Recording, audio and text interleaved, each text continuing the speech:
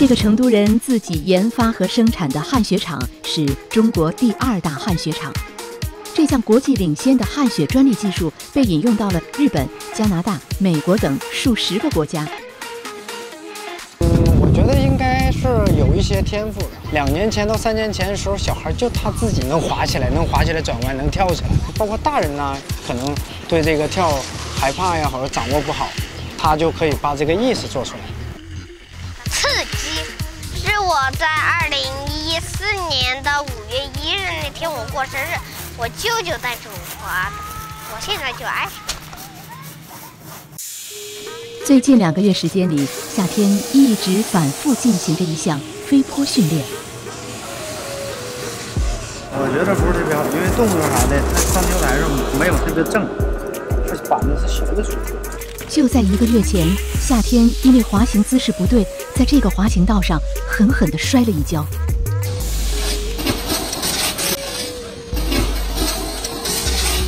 这只是一个气垫的一个辅助，真正的要去雪上滑的话，就是像水泥地一样。一周之后，夏天将要第一次前往真雪赛道上飞坡。在真雪赛道上，动作稍有失误，就会带来严重的摔伤。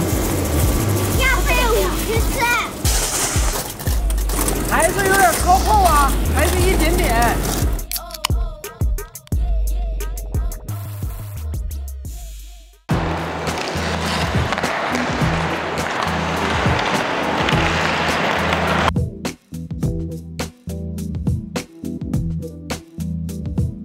这个位置叫拍跟，我现在拨的是冰球，手腕必须要动，拨拨拨拨拨，你可以晃。过人呢，把球压着嘛，然后抬。冰球是加拿大的国球。二零一五年七月，北京成功申办二零二二年冬奥会，冰上运动风靡全国。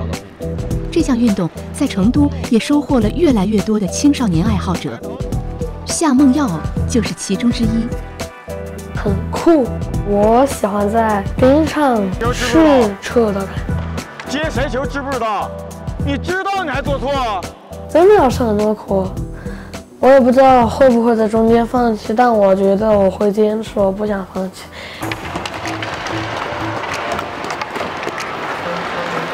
传准，传准，传准。你要反手，你接丢了行；你正手，你还接不稳吗？夏梦耀所在的这支十岁年龄段的冰球队叫做成都小勇士，在国内的大多数比赛中，球队能排进前五名。二零一九年十二月，夏梦耀和队友们前往加拿大参加贝尔杯国际少年冰球比赛，获得了第四名。两到三年吧，跨度真的很大，而且发展的也很快。大学生运动会二一年那个，对于我们冰上发展的话，其实说白了很有帮助。是一三年两家冰场，啊，到现在有九家冰场，有很多我们北方的教练都来到成都，去发展冰上事业。十天之后，一支北京少年冰球队“捕金者”即将来到成都，和成都小勇士展开一场友谊赛。这是夏梦耀和队友们一直以来的一个劲敌。捕鲸者大概情况吧，这个水平可以说在北京或者在整个中国吧，也是也属于数一数二以及前三一个队伍吧。普遍稍微大一些，团队配合非常强，个人能力强。球球球接不着，啊，上点心行不行啊？你就这样子怎么跟那个北京队比赛啊？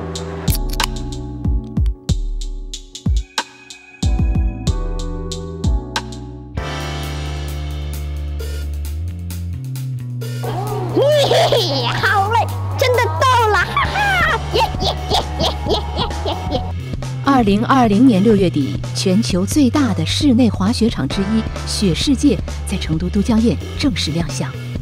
这个总建筑面积超八万平米的空间里，如同搬进了一座雪山。室内温度保持在零下四度，六条世界级的滑雪赛道，让滑雪爱好者们一年四季都可以感受滑雪的刺激。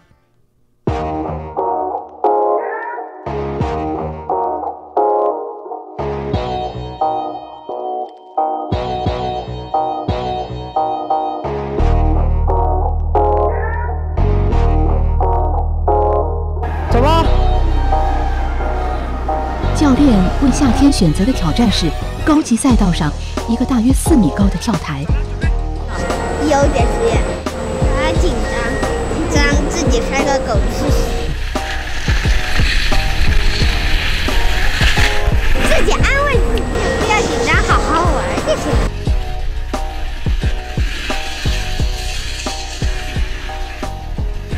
完了，停！因为第一次的话，飞去飞过这个的话，他能站住滑走就特别棒，因为他是第一次。夏天完成了他现阶段的滑雪目标，而骑小轮车的刘思阳也即将挑战他的新高度。你看我上坡，上去的时候我做了一个什么动作？做了一个准备的姿势，然后也要站起来了。眼前这个小轮车街式训练碗池边缘的最高处接近四米，转角大约九十度。由于俯冲时会产生强烈的高空坠落感，训练这项技术的通常都是成年人，而这就是五岁的刘思阳即将迎接的新挑战。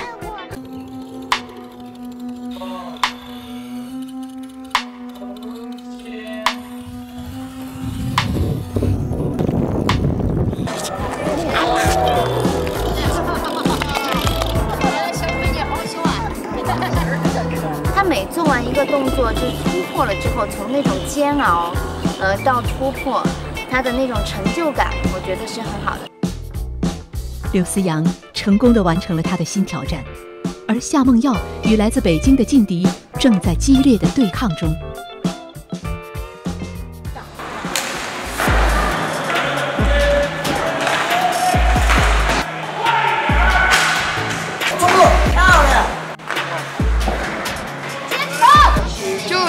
他们队很很凶很厉害嘛，我们前锋拿到球了以后，对方的人就会像老虎一样冲过来，你还没调整好球，就会被抢下，所以教练说要快点调整球。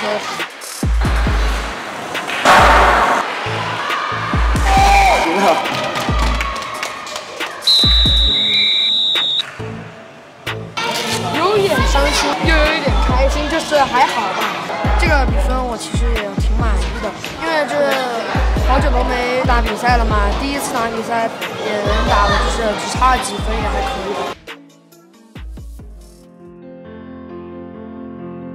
成都2021年第三十一届世界大学生夏季运动会的脚步声越来越近，成都浓郁的运动氛围正在激发出刘思阳、夏天和夏梦耀基因中的运动天赋。他们敢于挑战，逆风向前，用汗水和激情助力成都建设世界赛事名城。爱成都，迎大运，成都少年正以自己的拼搏和努力迎接一场世界盛会的到来。